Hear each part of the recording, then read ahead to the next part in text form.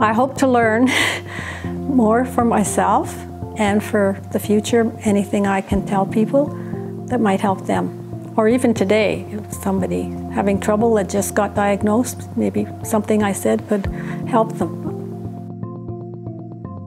As far as risks with C-OPN, um, I'm not, I'm not uh, aware of any risks, no, not at this time. As far as the larger experiment goes, um, I don't expect to be notified. Finding out about clinical trials for me was very easy. It started when I saw a commercial on TV and I went for an interview with that one. I was interviewed over the phone as well and um, it kind of started the ball rolling.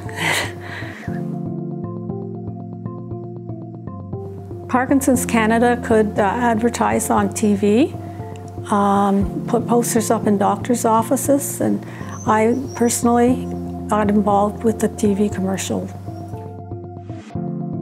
The reason people should get involved is because the more um, more information that can get, be gathered can help other people. They can help the person that's actually doing it as well because they would learn from other people.